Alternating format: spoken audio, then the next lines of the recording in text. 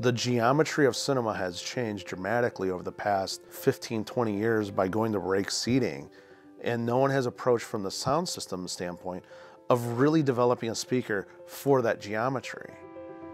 What does the audience and the room demand of the loudspeaker? This 200 series is JBL's latest screen array development. Paul's approach to speaker design is really looking at what is the appropriate speaker coverage for modern day cinema, and then designing a speaker to that.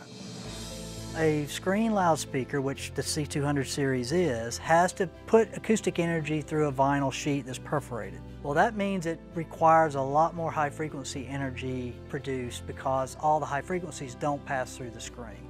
So dual dissimilar first allows us to use two high frequency drivers instead of one. To create further degrees of freedom in design, dual dissimilar arraying was developed as a means to use interference patterns which line array technology has been using for years, but line array technology utilizes a lot of drivers and is very expensive and gets large. Dual dissimilar arraying uses only two devices.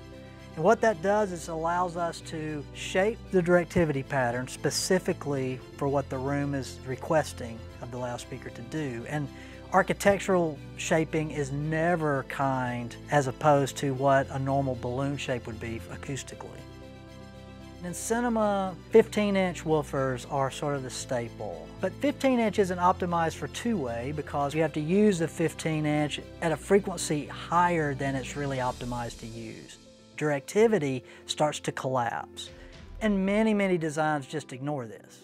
So one way to do that is what we're calling our LF aperture waveguides. And they actually float in front of the driver in the plane that we're trying to make it work. And in this case, that's the horizontal. So they float in front of the driver, partially blocking the driver, and make just the center section of that driver appear to be the radiating surface.